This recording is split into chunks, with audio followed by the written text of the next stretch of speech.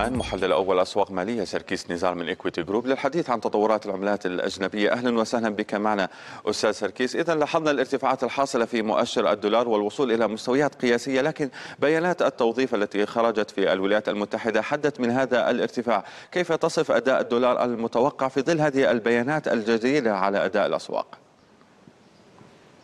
نهاركم سعيد. بالفعل شهدنا ارتفاعات كبيرة جدا في الدولار الأمريكي على مدى الشهر الماضي حيث حقق الدولار مكاسب هي الأكبر منذ شهر كانون الثاني من عام 2015 ليصل إلى أعلى مستوى منذ عقدين من الزمن. وهذا بعد أن رفع الاحتياطي الفدرالي الفائدة ب 50 نقطة أساس. لكن نوعا ما شهد الدولار بعض التراجع الطفيف بعد أن صدرت بيانات الوظائف الأمريكية يوم الجمعة الماضي كان من المتوقع لبيانات الوظائف أن تظهر انخفاض معدل البطالة إلى 3.5% لكن في الحقيقة صدرت البيانات وأظهرت بأن البطالة استقرت عند 3.6% وهذا نوعا ما ما قلل من قوة الدولار الأمريكي. لكن بشكل عام لا يجب أن ننسى بأن مؤشر الدولار الأمريكي حاليا عند أعلى مستوياته منذ عام 2002 مستفيدا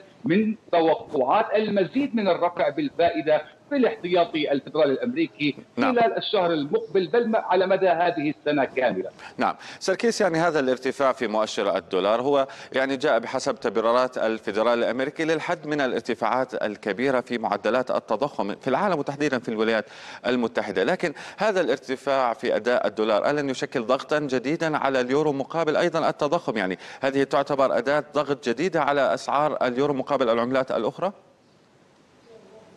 فعليا اليورو عانى بشكل كبير أمام الدولار الأمريكي وشهد انخفاضا بحوالي 4.7% على مدى الشهر الماضي مقابل الدولار حيث أن البنك المركزي الأوروبي قد لا يرفع الفائدة بنفس السرعة التي يقوم بها الفدرالي الأمريكي.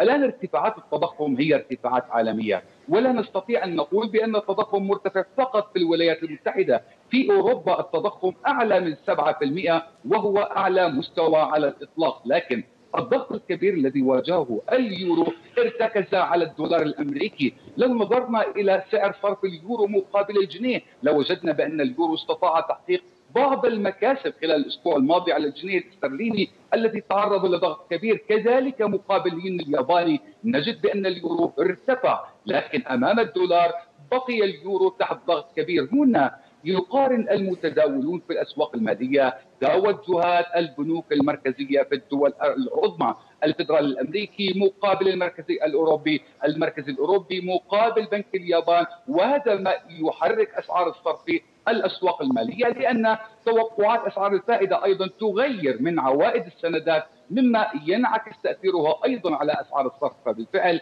يواجه اليورو ضغط كبير أمام الدولار لكن أمام الجنيه الاسترليني على سبيل المثال قل هذا الضغط ولا يجب أن ننسى أيضا تأثر اليورو بشكل كبير أمام الدولار بسبب التوترات الجيوسياسية شرق أوروبا نعم. والتي ضغطت بشكل هائل على اليورو خلال الفترة الماضية. نعم، يعني لاحظنا قرارات عديدة من البنوك المركزية في العالم اتجهت أو اتخذت نحو يعني نفس الاتجاه المتخذ من لدى الفدرالي الأمريكي برفع أسعار الفائده، كيف أثر على باقي العملات؟ انت تحدثنا عن الجنيه الاسترليني، تحدثنا عن الين الياباني وأيضا عن الفرنك السويسري، كيف تأثرت هذه العملات في ظل هذه القرارات؟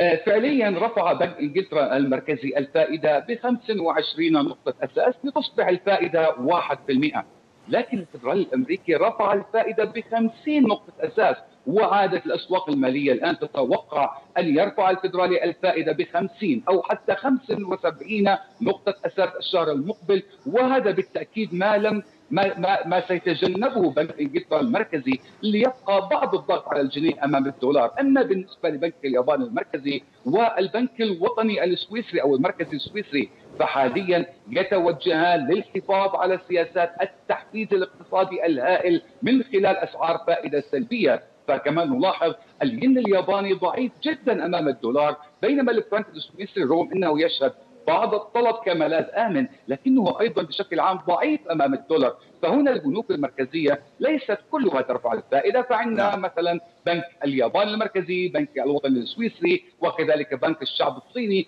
هذه البنوك قد لا ترفع الفائدة هذه السنة. مقابل بنوك أخرى قد ترفع الفائدة تشمل فيدرالي أمريكي بنك إنجلترا وأيضا البنك المركزي الأوروبي حتى ولو بشكل طفيف في المركزي الأوروبي. نعم محلل أول أسواق مالية في إكويتي جروب الأستاذ سركيس نزار. شكرا لك على كل هذا الشرح الوافي.